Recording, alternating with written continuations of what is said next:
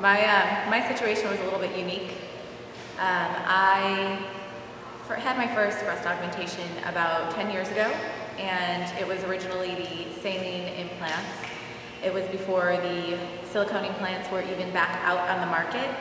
And I had a little bit of problems with my right side. Um, either the pocket was made too big or um, I had a bottom out and it, it, just wasn't right for the past 10 years. I had received second opinions from my original doctor who uh, I didn't find took the situation too lightly. I think he was a little bit on the offensive side about it and uh, went for multiple second opinions um, up north, and all of this did happen up north before I moved down to Florida.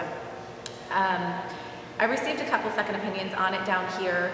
Um, still wasn't really ready to go through with a process until one day I was in the gym with my husband and my implant fully ruptured. So at that point, I knew I needed to find somebody fast, and I also needed to find somebody that was going to be able to do reconstruction um, or a little bit of reconstruction on my right side. So I ended up calling pretty much everybody I knew that day um, to get recommendations and um, had already previously seen a couple other doctors down here, so I knew um, that I didn't want to go to them for this and was recommended to Dr. Mobley. He was the first person I went to after this situation happened and he ended up being the last person I went to after this situation happened. So um, during the first visit, he came in and I was already set on getting saline implants again. I did not want silicone implants. I was afraid to get them. And um, he came in and fully educated me on everything, really, really put my mind at ease. Um, he was a human being, did not treat you like you were just a number. He uh, had many ways of explaining why the saline would not work out for me as much as the silicone. So in this process, I finally felt like I had a doctor who was listening to me. Um, I told him about my previous experiences with my first opinion, second opinions, what happened in the first place, and he went through explaining to me why that could have happened. It wasn't from working out, which I was really nervous about because I'm a very active person, and um, and the new solutions that could be done to fix that situation and how he could prevent it from happening again. So when I first met Dr. Mobley, um, he was very personable and easy to talk to and easy to ask questions. Sometimes you get a plastic surgeon that walks in and they put up a wall between you and the patient if that means anything. You, you can't really or you don't feel like you can really ask the questions that you want to ask and get down to nitty gritty details about the situation that you have. He really, I want to say, took scientific matters and made them into um, a consultation where I could understand it and explain to me um, exactly how he would be able to um, fix my situation and align it with what my goals were. So um, immediately after the consultation, I really knew that he was the one that I wanted to go with for this and was surprised that he was the first person I saw after this and was really happy that I didn't have to see anyone else because I needed something done soon. So my surgery was in the afternoon and um, the only thing I didn't like about it is because I couldn't eat in the morning, but that's completely fine. Um, my husband um, took me, dropped me off at the office, and um, I was welcomed there, um, made very comfortable. Um, wasn't actually, it's crazy because you're not treated like you're going into surgery, like people are trying to pity you. You're treated to make to be made very comfortable. So um, went in, I think Dr. Mobley had just finished eating lunch, he came in. Um, his interaction just in general with the other nurses and talking to them about, you know, what they did over the weekend, you know, just making you feel at ease. You can tell he's a family guy. He was talking about his family, um, talking with me about it, including me in the conversation, not like they were just having a conversation and I was just sitting here like, hello. So it was definitely a really good experience going into surgery. Um, the nurses were all great. Um, was great and um, came out into recovery and it was like it didn't even happen. So, uh, talking about the saline versus silicone, I did do a lot of research um, at home on my own, uh, as well as talking to Dr. Mobley in the office.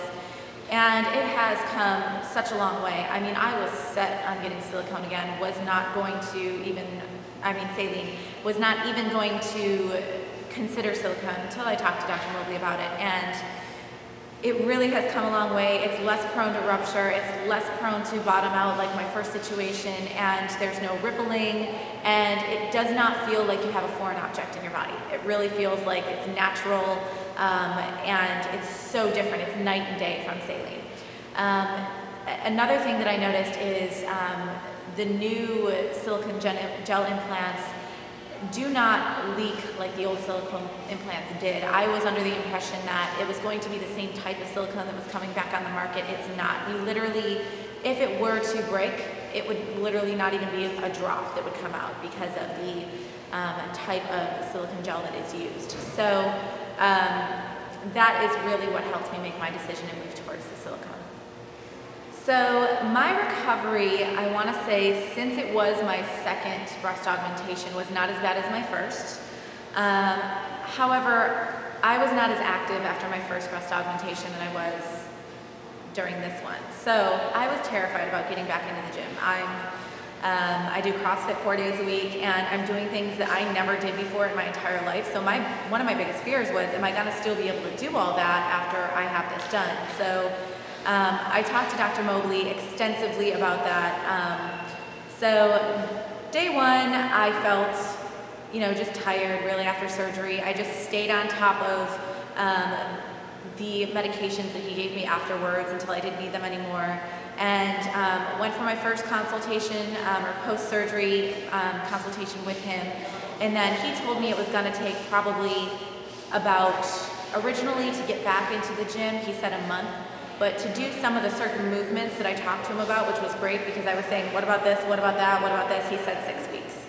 So um, getting back into the gym was, um, was definitely, it was weird after being off for a month.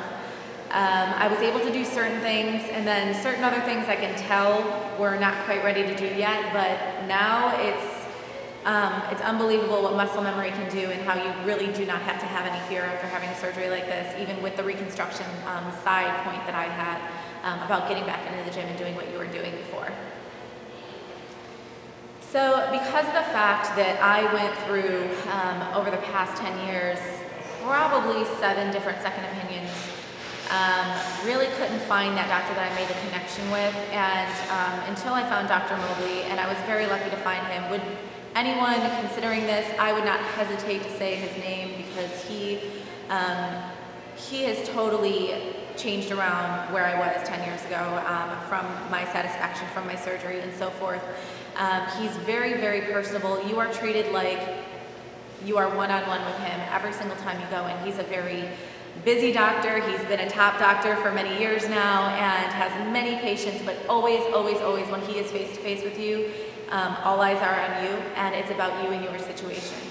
Um, he always makes sure that the turnout is going to be what you want. Um, he makes that clear and talks to you about it and makes sure, you know, bottom line, this is what we're going to do um, without changing your mind, um, just so he knows that we're set and we're good to go. So I, Dr. Mobley definitely treats you like you are his only patient at the time that you're seeing him. He has many patients, he's been a top, top doctor for years, especially in my situation. Um, spent a lot of time with me making sure that um, we were gonna, number one, get to the goal that I wanted to get to, um, and number two, the education on, I did end up moving to a silicone implant from a saline implant and could not be happier. So um, it is a lot safer now. Um, it's amazing. Even the nurses were showing me um, the ones that they had in the office and, and, so forth. So definitely a lot of education, which is very important and not just straight flat answers from your surgeon. Um, and the fact that you are not treated like a number, not one bit.